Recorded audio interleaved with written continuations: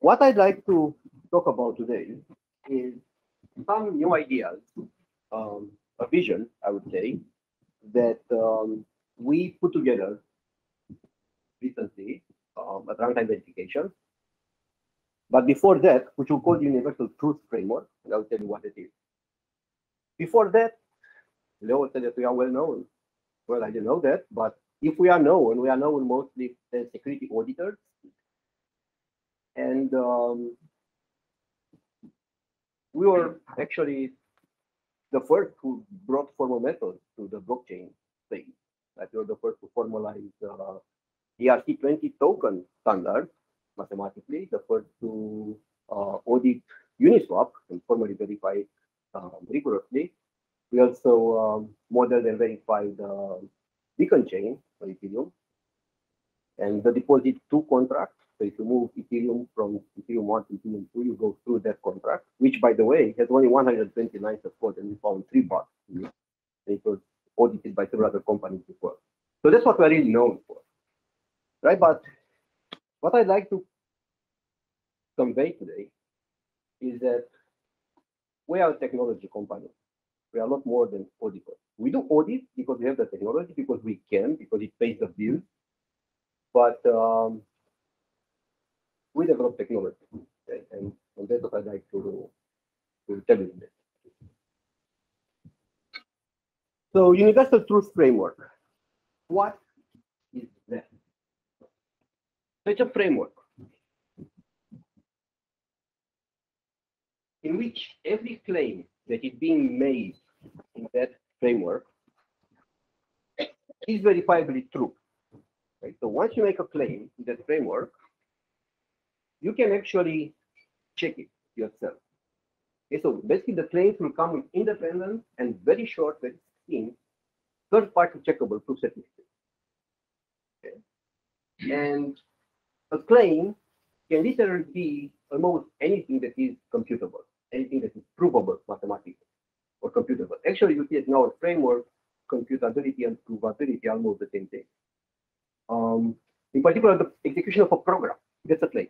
You execute a program and you claim that this program does something, 42, then that's a claim. Okay, that will be checkable independently. You don't have to trust the implementation of a programming language. You don't have to trust anybody.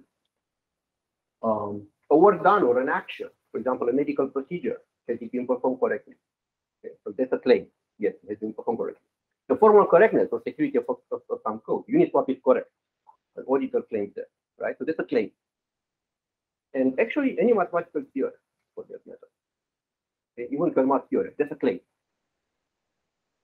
And in this universal truth framework, what we want to achieve is this.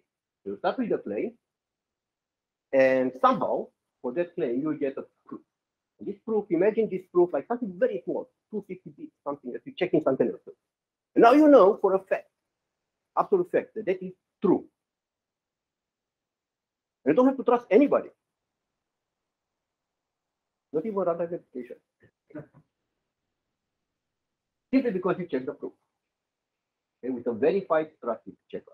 And I'll get to that. Okay. Any questions about the vision, the high level vision? By the way, feel free to ask questions. Let's make this as interactive as possible. It's so, so time is relative. um,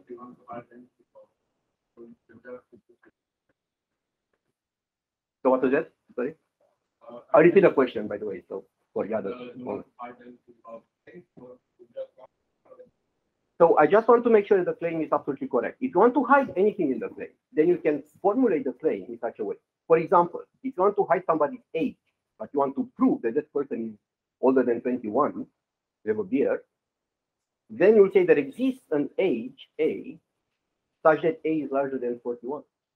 Right? So you can abstract uh, through mathematics, and, and this you can hide age if you want. Okay, so basically our claim here the meta claim, the meta claim is that almost everything that we care about can be formulated as a mathematical statement. And I will tell you what formalism for mathematics we are going to use. And then once you have that,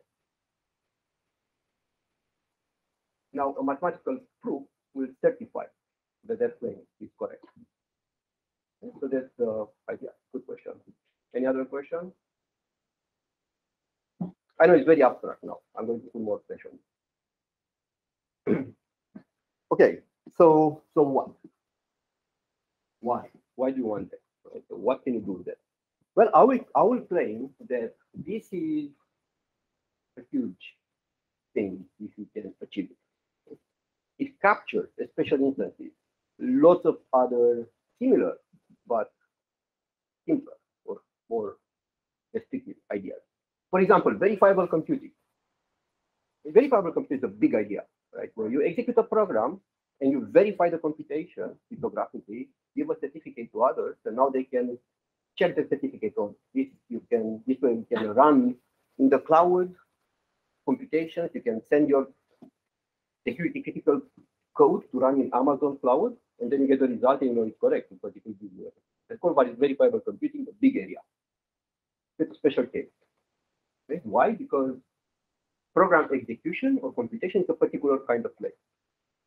Okay? And with what I'm presenting, that will literally become mathematical theorem that will have a proof. And computation is a proof. The search for a proof. There's this proof carrying code. That's something similar from old, so no idea. Right. That's something similar. Proof carrying code, um, I think this is more general actually than proof carrying code. You don't need to carry the proof anymore. You can locally check Ah, it, just, just the result. and then you send the code with a certificate that is correct. Don't don't check anything. That's old stuff. and by the way, George Necula is a book there. Yeah. Um, all right. Now we have zero knowledge variants of languages, zero knowledge EVM, zero knowledge uh, kind of VM, the five variant, zero DK, LLVM, Cairo, all kind of languages that provide zero knowledge guarantees. Again, you are going to have that as a special instance. You are going to have ZK lang for any programming language, which you have a form of semantics, and that will be correct by construction. You don't even have to prove it correct. Okay? I know it may sound like a crazy claim, but it's not. true. Now, formal verification, security audit, all these things that we do as security auditors. Currently, these are just PDF files, uh, PDF files that you give to your clients and they give to their clients and so on and so forth, right? Um, there is no accountability, no checking. You don't even know if the PDF file indeed certifies the protocol is correct, or nothing. Well, these are also claims. And once you formally verify a protocol like Uniswap, we verified Uniswap, right? Probably five people bothered to read that and understand. The others just said, okay, it's verified, without even looking at the specs. Okay, so that's a bit of a, you know, uh, suboptimal. Let me put in my case. Um, so all these should be claims, formalized claims, and they should be checked and put on the blockchain somewhere, and uh, same like any other thing. There's no difference between a security audit and a program that executing them output for people. And now you can go beyond actually blockchain and uh, usual applications. You can go into critical procedures, devices, medical um, uh, situations, like doctors are sued because they kill the patient. And the doctor say, well, I applied the medical guidelines correctly, so something unexpected. Okay, how can you prove that? So now it's with all litigation and so on. Now you can have a proof. There's a have a proof. The medical guidelines are formalized actually. In my at University of Illinois, we actually formalized medical guidelines. And I formalize the RT20. Um, and now you can have a proof that it's after that you apply the procedure correctly, but I'm not going to show you what is. But I'm showing you only that the procedure was applied correctly. And then in aviation, automotive, robotics, basically AI. You know, so why should we trust AI? Right? You can think of AI as searching for a solution to a complex problem, a claim, right? I have a claim that it, and they have given a solution. I check it. I don't trust it. Okay? You can check it. And so on and so forth. There are lots of applications. That's right. That's my point in this right? Okay, how does this work? So if you go home with this slide and understand this slide, I'm happy. Okay, so that's, that's the big idea here. So the big idea is to split is huge problem of meta claim in two parts. One is conventional mathematics, conventional mathematics as we know it. We have a mathematical theorem and you get a mathematical proof of it. How you get that proof, let's not worry about that now. And now, the second part is the proof checker for that mathematical proof. But that proof checker is now not. That proof checker incorporates a cryptographic technique that will allow you to generate a correctness certificate that the mathematical proof that you presented for your claim exists and is correct. Okay, so that's a big idea. Now let me go into detail. So you start with your claim, let's say five, and we use the K framework, but I want to emphasize that K is not really the critical piece here. It is for us because we understand it, we created it, we know how to get something done with it, right? But K also has backend in Beam, uh, the Dedukti, uh, well, at least started. So the, the idea is that you can use anything you want in this, in this universe to get a mathematical proof done for the plane. And you get it. Now the problem with very rigorous mathematical proofs is that they are huge. If you go through all the steps, the axioms, inference steps, everything, you have easily hundreds of thousands, millions, billions of steps. But they are very low level, like here. Step 248 infer this sub formula. Many of them are axioms. Typically at the beginning of a proof, there's lots of axioms, which you just use. And then you use inferences like modus ponens here by like 248. Okay, so now I can infer 248 by modus ponens. And you want to have all the details in the, the mathematical proof. Is the proof object? This proof object, you want to have all the details because these proofs are not made for humans. Humans work here and here. So, right? They get a proof done with automation, all the tricks they know. But once you get the actual rigorous mathematical proof, you want it to be very low level, very dumb, very boring. The more boring it is, the better. Very low level. Why? Why do we want it? Computer everything, very fun. Exactly. So the advantage of a huge, very dumb proof is that you can have a very simple proof checker for such a proof. Okay? As a matter of fact, we implement the proof checker for the logic that we use here, matching logic, which has only 240 lines of code. That's it.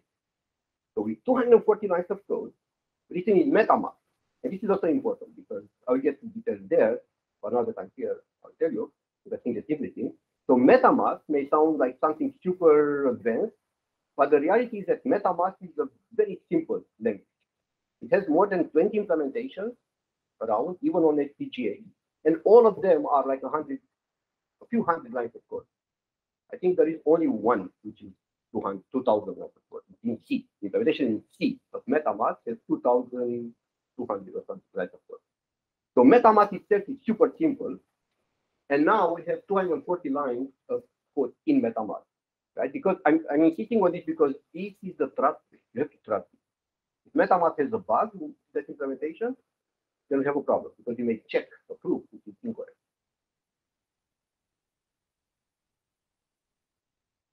Well, to give the semantics of the checker and so on, you can, but uh, you may still have bugs somewhere that can, you know, shortcut it somehow. You must have to put the bug in check. At some you have to trust something. how you prove yourself.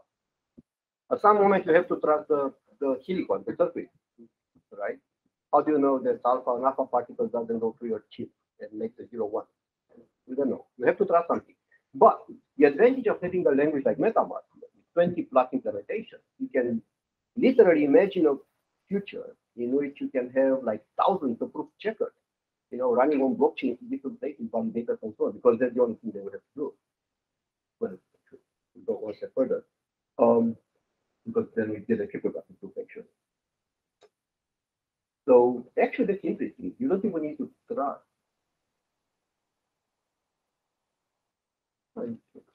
Because you can, once you produce the cryptographic proof, and once the program, these two lines of code are on the blockchain, right? And this proof will guarantee that that program executed, will give you the certainty.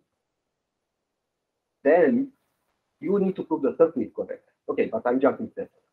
Uh, good. I like that you asked questions.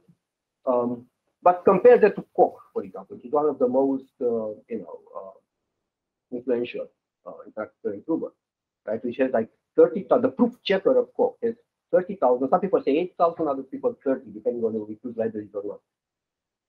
Uh, 30,000, let's say 10,000, right? Something like 10,000 lines of OCaml. And now you have OCaml compiler, which translates to LLVM, and then LLVM to XAPT, and so on, right? So there's a lot to trust on that uh, case. Yeah. And actually, you know the people prove faults in Coq with an theory twice. Right? Because rubber. Okay, so proof checker, very small in a programming language which itself has lots of implementations, all very small. Okay? So trust based small. And now the proof checker will take as input what? Eh, The mathematical theory and the proof. Gamma, the mathematical theory in which you claim phi.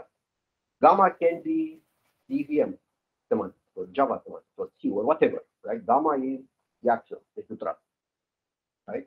And the proof checker implements, takes as input two or three things, depending on how you count. Let's take the theorem, which is gamma satisfies phi, the claim, okay?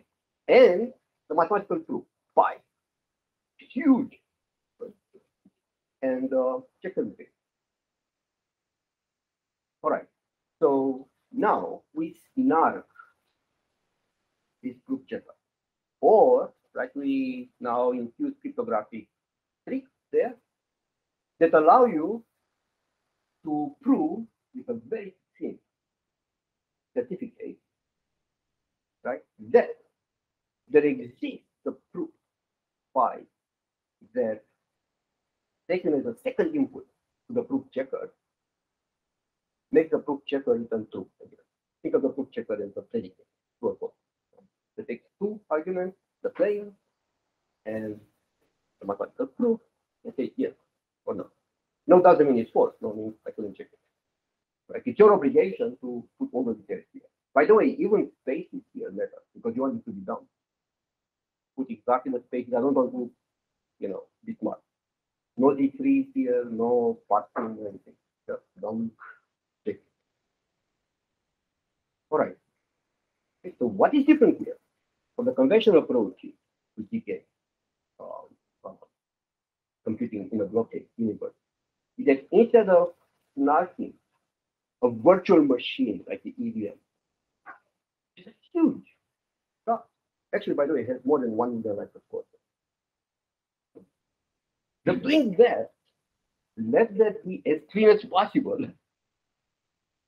Actually, make it generate this proof, instrument it, right, to lock all the steps, right, until you can put it very rigorous. And only it's not this thing. You get exactly the same confidence. Actually, you get more confidence because there's separation of concern.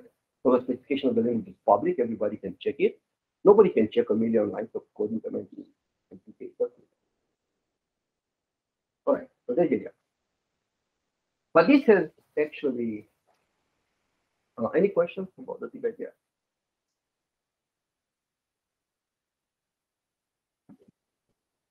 All right, so I would say that the applications that I mentioned the previous slide, these ones are kind of obvious once you look at it, once you get it. They're kind of course, you know, I can have computation, and then you know, audit, I can have everything in the process. But let me show you a very interesting application that I would like to do. I don't mean any competition. Maybe I will convince you guys to do it, you know, it would be great. I think this will solve all the current limitations of blockchain. Let me go through some limitations and then how we think we can solve them. For example, duplication of computation. All nodes they execute a program because they don't trust each other. And there's only way to verify something. That's easy. So, shouldn't have us, okay? But we don't have any other. Yeah.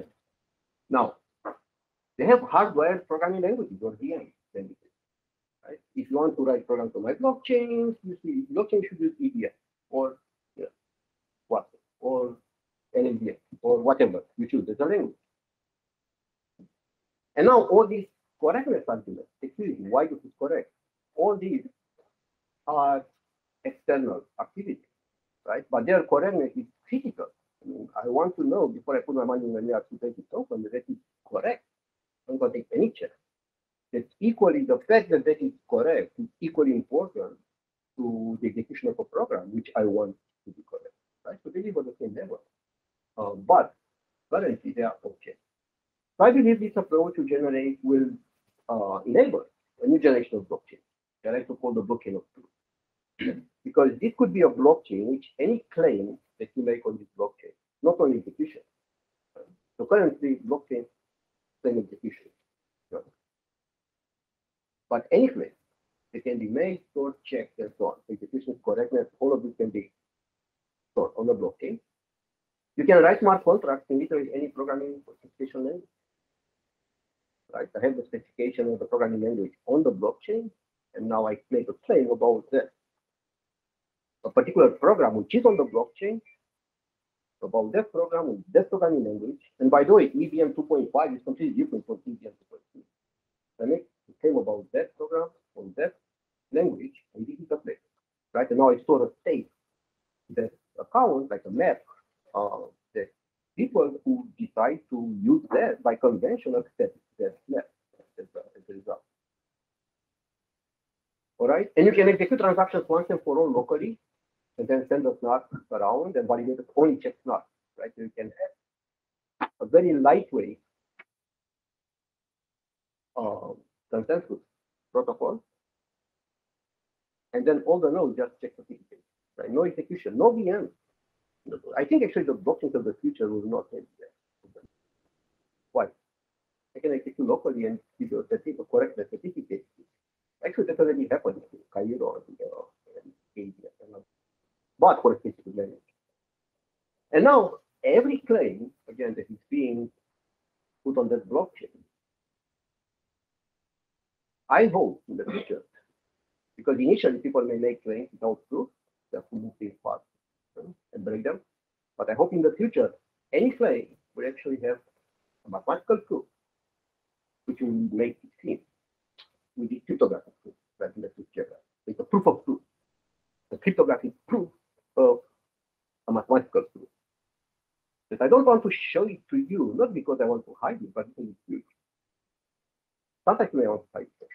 You want to hide the 21, uh, you know, your age, you need to hide the proof because when you prove that existential claim, you make use generalization in the proof, and then you can actually have the actual be. Anyway, that's uh, yeah.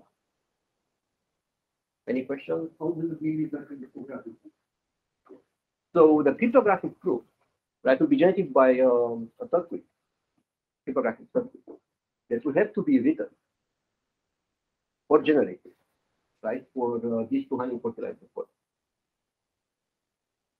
You can formally verify that. There are tools to formally verify the tweet. Julian here, I will show us soon, right? Some some such tools. Um, so you can verify those. But again, I only have to trust 249 of code instead of a million. It's a lot better. So that's why you want to minimize the trust base because at some point you have to trust something. Yes. Uh,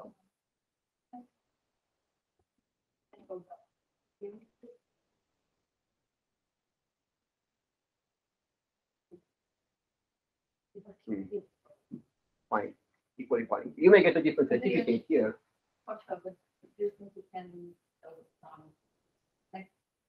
I think, mm, yeah, they prove the same thing. The equivalent from that point of view. But I think actually once it becomes hopefully popular, then we'll start looking seriously into proof engineering. How can you get a proof really small? For example, if you have a loop, if you have an invariant for that, then I can get more successful. And so there's a case where formal verification makes things faster. and it's crazy, but if you formally verify the program, I'll give you faster computation. Then... Yeah, then I don't care. I don't care what smart techniques you use under the hood to get that blue because I check it. And I start with axioms, and at the bottom, line 1 billion, I got exactly my place, the theorem. Done. Yeah.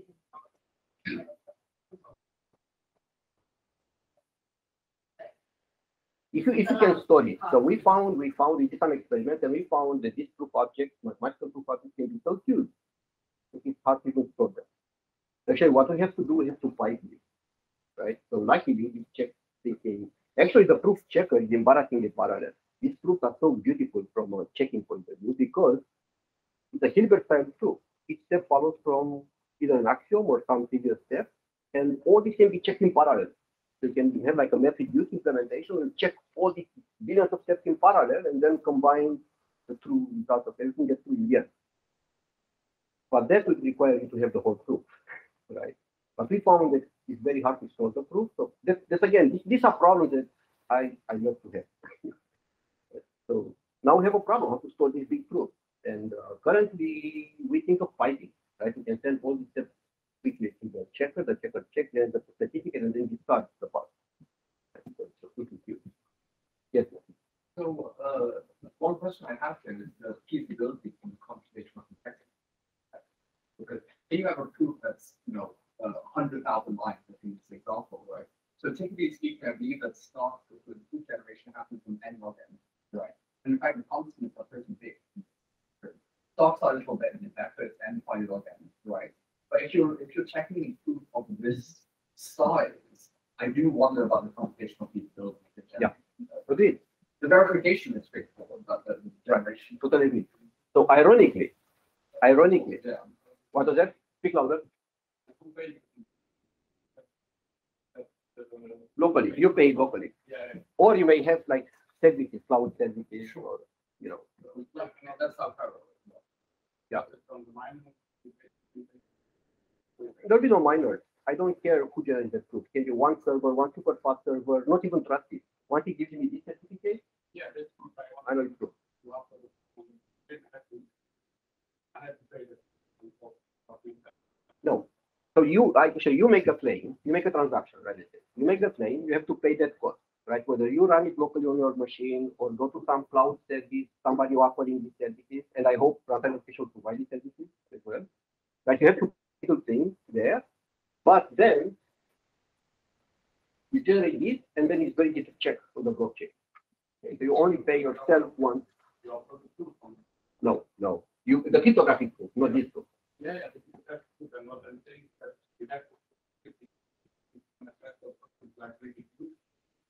Yeah. Yeah. But the same thing happens with zkEVM or with any approaches or Cairo or any approaches now. As a matter of fact, if you play with them, they take hours, days, okay, to generate these I think we can actually beat them.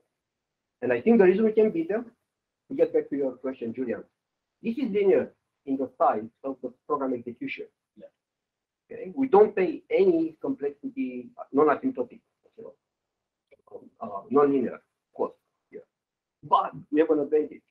We can use formal verification knowledge, like an looping variant or something else, right, to make this smaller.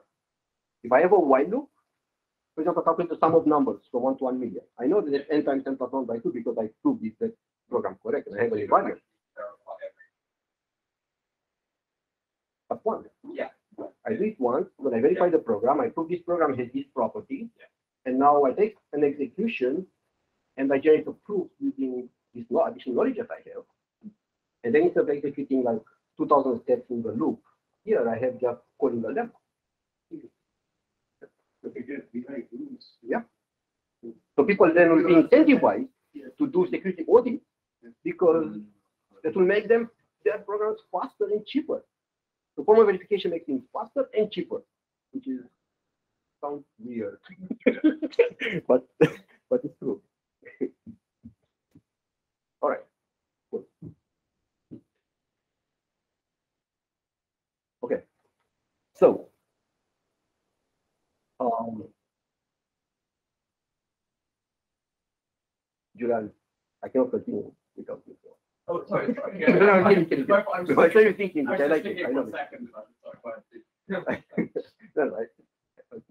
Right, so I will go very quickly to what is K, because I already know most people here. I don't know if you know what it is, but just to set the scene quickly. Right, so K was created to address um, the state of the art, literally, in, in programming languages, which personally I think sucks.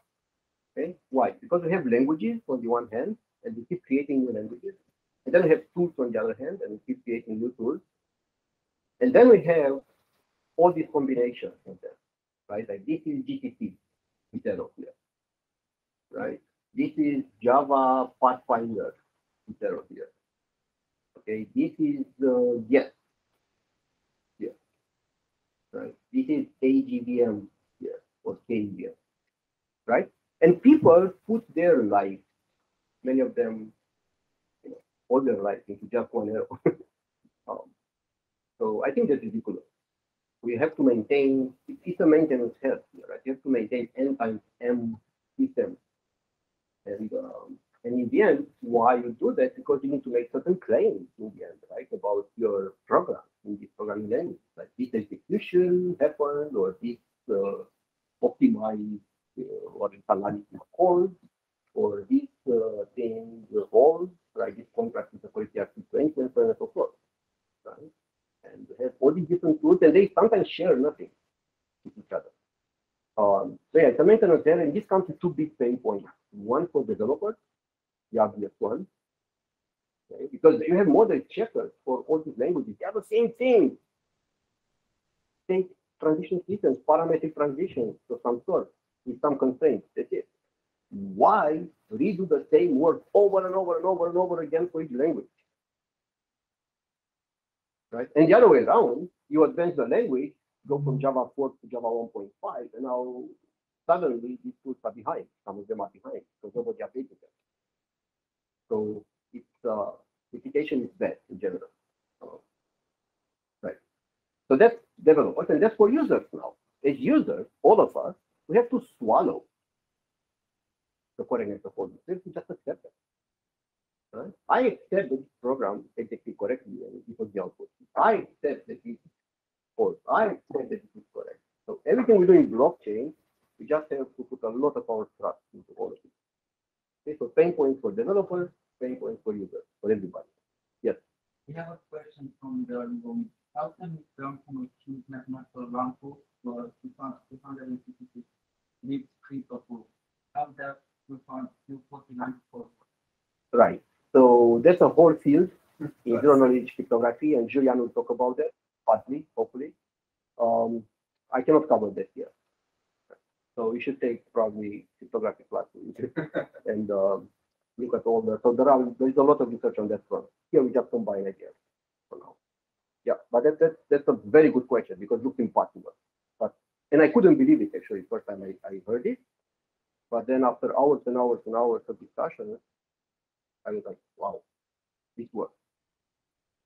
But, but we have to use it properly. All right, good. So anyway, so pain tried to address, and is how he addressed the pain points. the developer, like this, right, instead of n times m, maintenance hell, you have n plus m, right? You plug and play your language in the framework, and the framework implements all tools parameters you want all. Okay? So this not only separation of concerns, this is good in general, but it also has this initially unexpected but increasingly, you know, important, uh, interesting network in the model checker or you optimize the model checker. Now you optimize the model checker for all languages. Or the other way around, you update the semantics of CVM, and now you suddenly have all the tools updated. Okay? So that turned out to be actually even, you know, competitive advantage on the commercial side in our company because we always had the latest you know version of KVM. Our competitors they had to spend months to update whenever they are updated EVM. We spent a couple of days and then we had all of tools for EVM right away. And so that's for developers. And so if this works, right, that's how things should be done. The only concern is that well, what if it doesn't work? And we put 20 years into it, and we put more this is the way to do things. Right? And that's how we do it. And then for users, K actually is nothing but a proof searcher. It's a helper. It helps you find truth. Everything that these blue boxes do, execution, analysis, verification, everything in game is a mathematical. A task, which formalizes the theorem, and mathematical theory, which is a language or the specification of your protocol or whatever it is. Right? So the mathematical proof, and this is important for so computation is a specialty of proof. Right? Because when we talk to people, they think of us, especially investors, uh, they think of us as security auditors. Done. Right? So they don't see this connection. Actually, execution is a particular case of. If we know how to do really proof, we know how to do it execution. Actually, cleaner and better as well. Okay. And in my view, things I have so far, maybe I didn't look at the right places, but I think this is the smallest proof checker ever for a logical complexity. So the matching logic is a variant of second order logic. You can go into details if you want. It's a universally quantified 100 second order logic. okay? So you have quantifiers over set top level, but you do have all the power of second order, you have induction. Right. Initial algebra, semantics, recursion, all these are there. We don't need more. but we didn't a need for more. All right. Um, K now, as an implementation, the system is huge. Some people say it's actually the largest code record system uh, network. It has more than 500,000 lines of code in four different languages, um, and uh, huge. No open source, by the way. So the question, well, question could be probably somebody had it, had the line, you trust it? Right? Very valid question. And my answer to you should be that you shouldn't. Uh, because I guarantee that it has bugs. Keep finding bugs. Right? So that's the whole point actually. Don't even trust it, you check. Generate proof. Okay, it's a helper to find proof. If you find proofs, then don't need to worry about it anymore. At all. So, all right. How are we doing with time, Mr. Chair? Around nine minutes, discussion. Okay. All right. So what's doing K? Okay, so we have this uh, new tool, okay, uh, the case summarizer, which is very important for everything we do. Now it's a key tool in almost all the blue boxes that I showed you there. Um, so what this does is the following. You see that in compilers, right? But we do it semantically, driven by the semantics. We take a programming language, input, semantic, gamma. We take a program, which is like a claim, right? Then this program does something. Um, it is a sum of numbers of whatever, up to n, and you store the result in s, and you can them. By the way, can you say this program is incorrect? For n equals zero, it returns one because it doesn't take the loop. This is one, for n larger than one, it's correct. Right, so what, what the case summarizer does, it is input a program, in language, of program, and you generate such a thing, which is like a control flow graph in the best way, where you have something initialized before the loop, then you have the loop, and then you exit.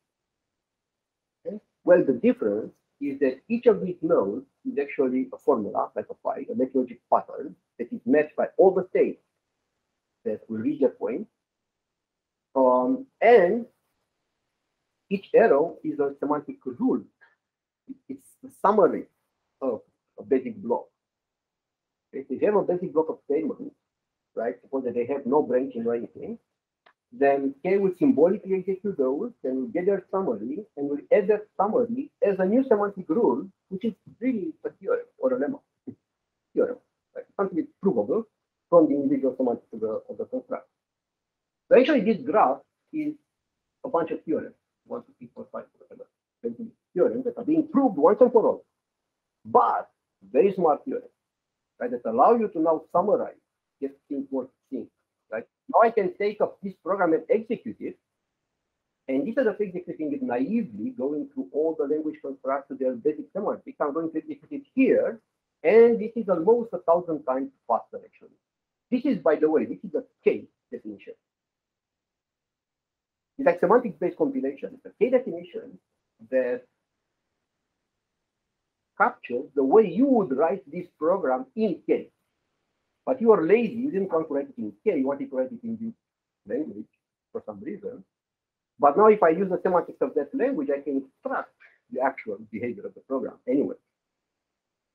And if I execute this, take some time, and this will be like almost a thousand times faster K. And we have very fast backend for execution, right? So with this, actually, our semantics of KEVM runs EVM programs faster than all the interpreters of EVM except one, which is found in Rato.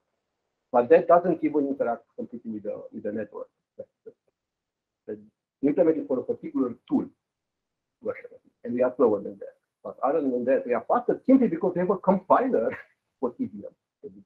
If you go by the semantics, you just go to that. Yes.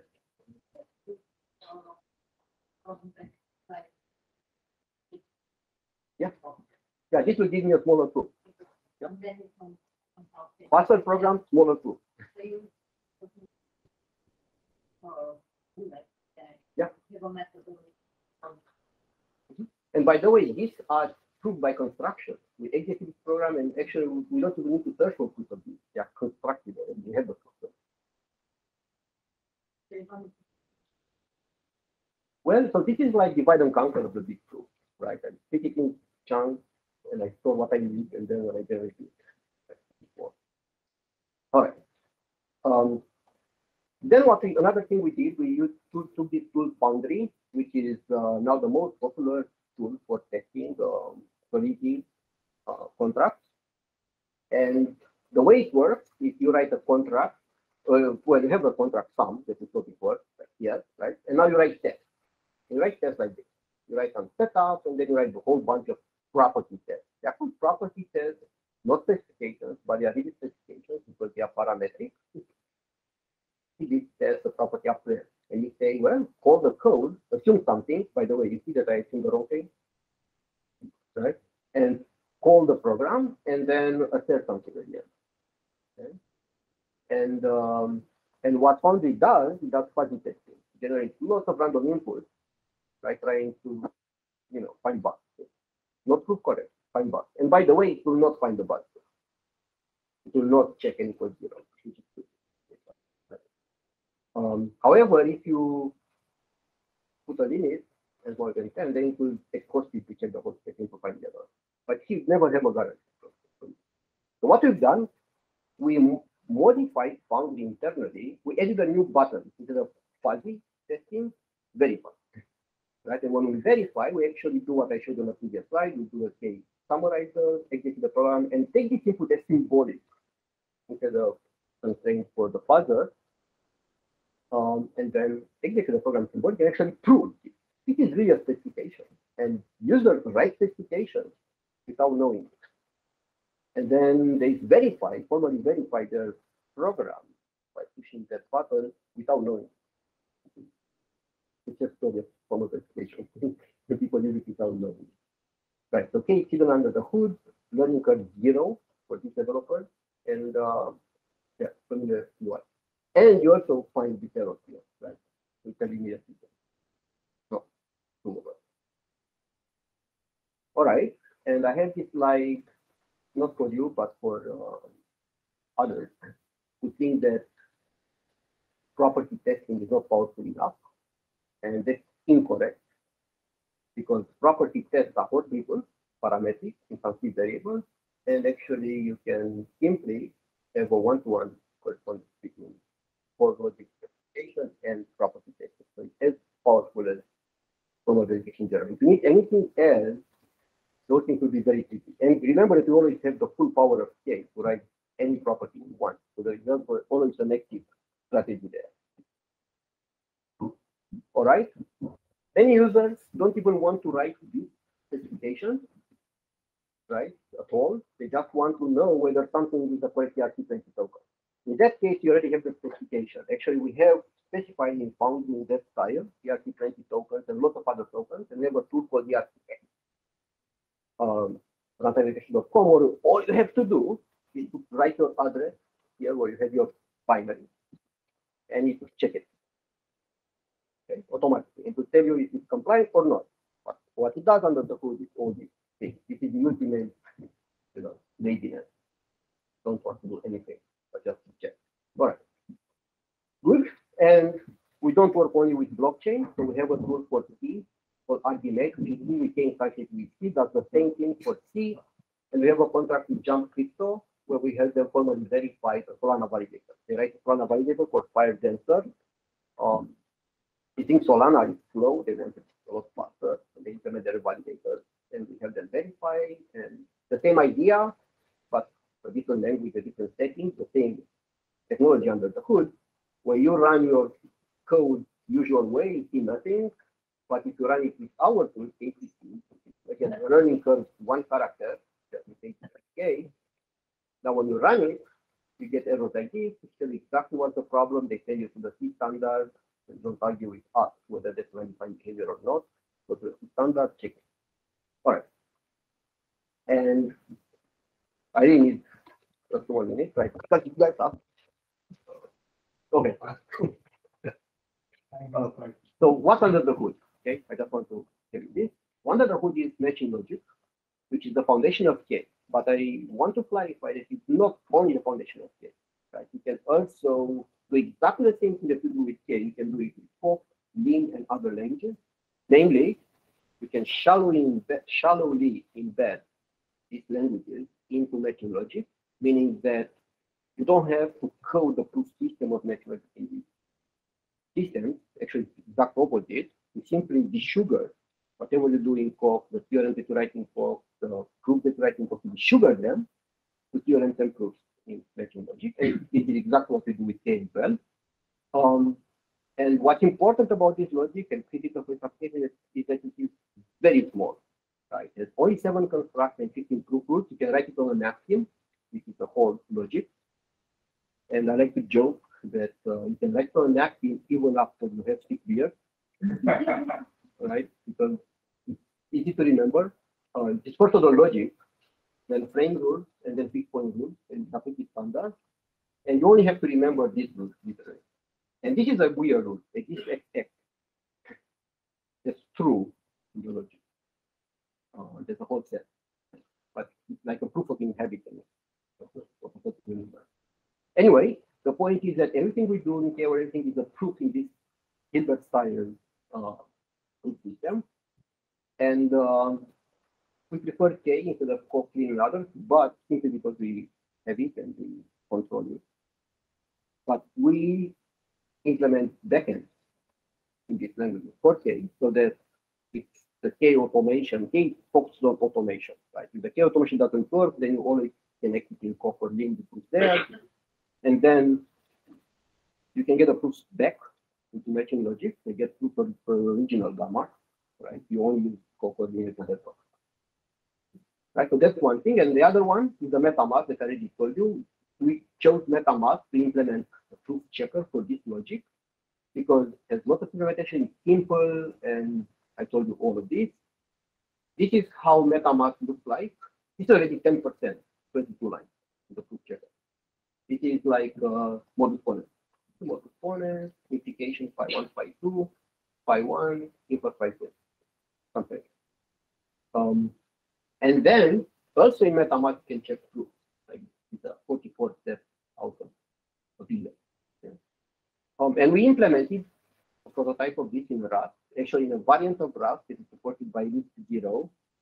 Or they they they they compile to Lisp 5 and then uh, they have knowledge subclass that implements Lisp 5. They call it ZKVM, and that has about 40,000 lines of code. Okay, so it's very complex. And back to the question, you have to trust that implementation, 40,000 lines of code, or verify it. But they don't have a formal semantic as far as I know any of those. So.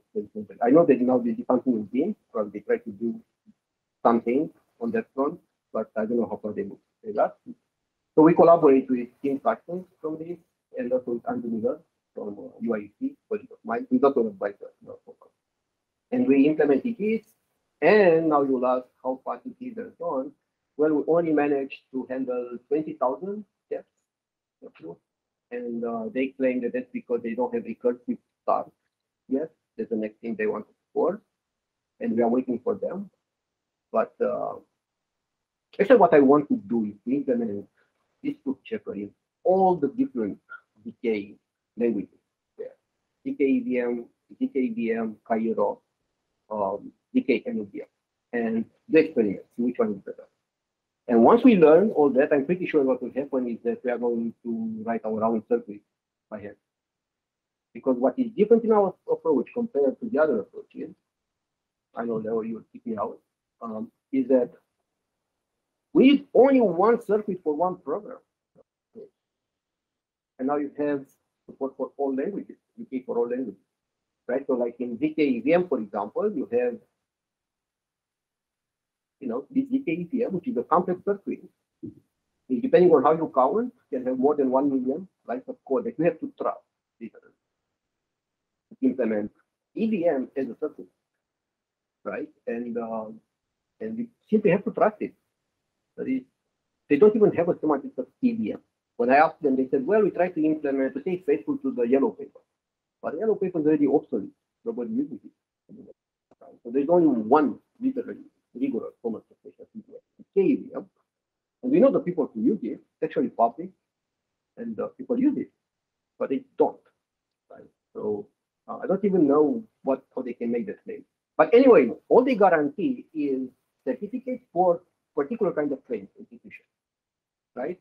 Compare that to our approach, where you can take any claim, in particular the execution claim, right? Where you plug the EVM semantics and get a mathematical proof, it's a huge one, right? This is public.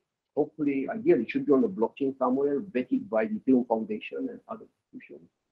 Somebody has to have that for the EVM semantics. You plug it, then you get it proof, mathematical proof. And then you have this proof checker, which we are still in search for a good, really good circuit for it. Currently, we just outsource it to others, but eventually we have a very efficient technique for this, and then you get exactly the same thing. Well, this will be a different certificate, like it, but checking, specifying exactly the same thing. But now you can plug and play any command here. You don't have to it only for them. And you have one circuit. I- would, yeah. I like to say that this is probably one of the most, let me make it really good. It's the most important program ever written. Okay? Because with 249 support, you can check everything. Everything we do with this, everything we do on blockchain, everything we do on computer. Right? Everything can be checked with this one program. And then if it's not weak, we can. All right, now finish this one. Okay, so that thing before.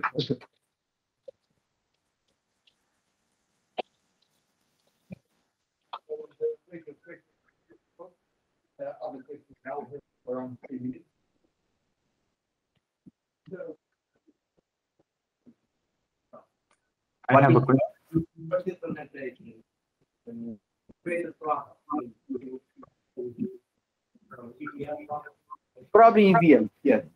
EVM, we need some more work to instrument the K LLVM backend, right, to produce, we currently produce a proof object outside because we didn't want to interfere with the LLVM backend, but we have to get into the LLVM backend, the fast execution backend, and generate proof object, and it will be for EVM.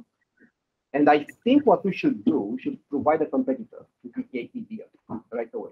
I believe that we are going to get faster, checker, I'm confident. Okay. And once we have that, I think we should provide an alternative layer two to Ethereum using exactly their infrastructure, which is public, except for the interpreter itself, the interpreter interpreter itself, right? Because they took care already of all the method three stuff, right? How to go from layer two to layer one, traffic data, and so on. We do that, but just the interpreter itself to be a lot faster.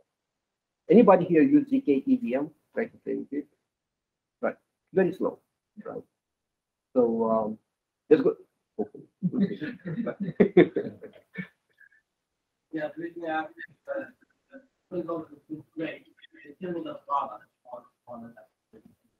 I'm very happy that you have that mentality. Guys, please have this mentality. Right? Don't think of just let's implement this beautiful prover, this beautiful um, you know proof checker. Everything must be practical and become a product in Right? Hustle backend also product. Right? all of these are products, they have to support a core in the company. And it will also allow us to do better theory, better foundation. Other questions? Yeah, I think Andre has a question. I, I have a question online. Okay, so um, I understand that you generate Metamath proofs, right? Yeah. Uh, doesn't Metamath come with a proof checker by default? Why do you need an extra proof checker uh, to trust? So there, there are 20 plus proof checkers. All these implementations of Metamath, they are proof checkers. Okay. Ah, okay. But the problem is that you have to ship your mathematical proof to them. Right? So where do you run them? If you if you run them in the cloud, you have to ship your mathematical proof to the cloud or generate it there or whatever, right? So these mathematical proofs are going to be huge, terabytes, petabytes maybe. So what you want is to snark that proof checker, have a new variant of proof checker, okay, that generates you a trusted result. Because you cannot just run the proof checker locally on your laptop and then claim, hey, I checked it, it worked. Because everybody can do that. Right? How can I trust your execution? And that's what the ZK circuit does. It doesn't allow you to cheat. Okay, thanks. Yes. Is the focus specific when using Snot because you No. are one constant time, a very constant size proofs or? To be honest, I don't You're I don't care. stuck to one. We tried, we, we started with NARC and it looks like we need to use recursive start Yeah. anyway, right? So we are completely open. I talked to the ZK LLVM guy, Mikhail, Yeah. name, and he said, ah, don't worry, you don't need recursive start. You can use ZK LLVM, we have just normal recursion, but we have some tricks that it will work. Are you sure? Yeah, I'm sure. You have to try it. Yeah, so I don't care, literally. It doesn't even have to be fixed size. Uh, small enough, you just need small enough. So the last two questions. Come on, no, this is not a Nazi company. We can go, we can go beyond the. Yeah, we can cover, uh, the Yes.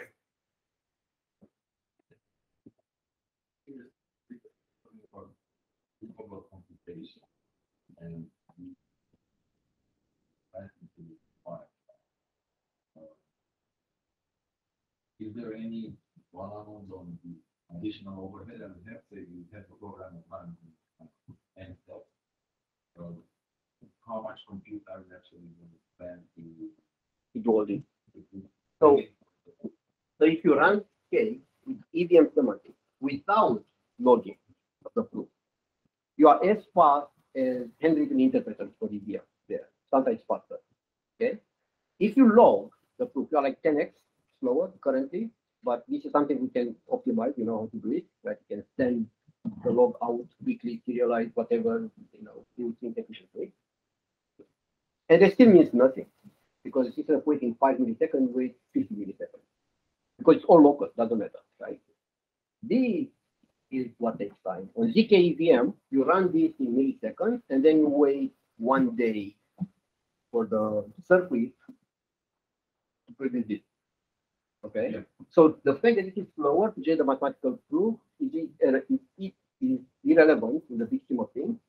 But we hope that we have an advantage that this thing is really small and another advantage that we can engineer this proof into this model. And then hopefully we'll generate faster thing. But currently, for twenty thousand steps here, we have to wait as long as this guy. So yeah. But because we don't have our own circuit, we just need somebody else. Is there any bound on how- upper bound on how, how, how large it is? Well, they claim they can write, they can run ninety-five percent. I think that's what the Polygon guy said. They can run ninety-five percent of all the transactions on Ethereum currently through their, um, you know, UKVM. The other five percent, they are either inconsistencies in the semantics or they wait. They don't know how long to wait, right? They didn't finish or crashed or whatever. I, I didn't look at the statistics. To be fair, that's not a very strong claim. That was an optic computation. Right, right. Yeah, so these things are slow. But I think there is hope that they make it fast. Yes, But more practically, in the context of uh, executing uh,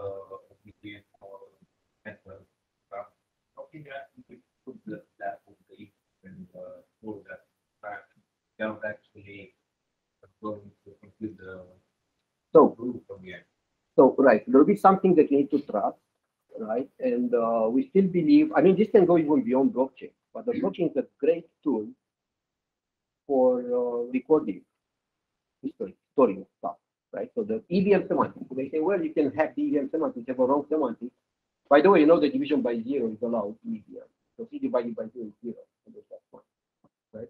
For some reason, so we had to implement that. Also, I really dislike it. I would like to have a check, but we don't. it be- Right, so you can hack this, get a wrong proof because of this. You can hack this, get a wrong file. So the idea is that this should be on the blockchain.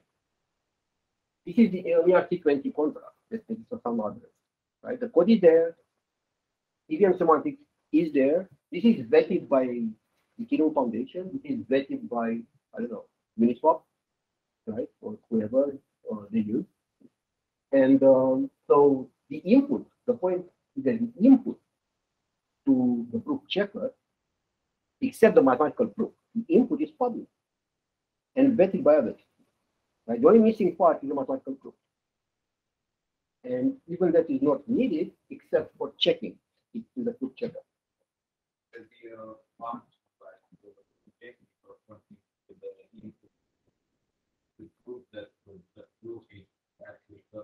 so the proof when you generate the proof, right, the proof, you start with axiom, you read things from gamma, the EVM, right, you read things from there, and then generate, execute the proof, and then at the end, okay, you don't even have the last step, you stop, because the last step must be the claim. Okay, you don't even put this into the, into the checker, right, the checker has only the missing, the gap, missing.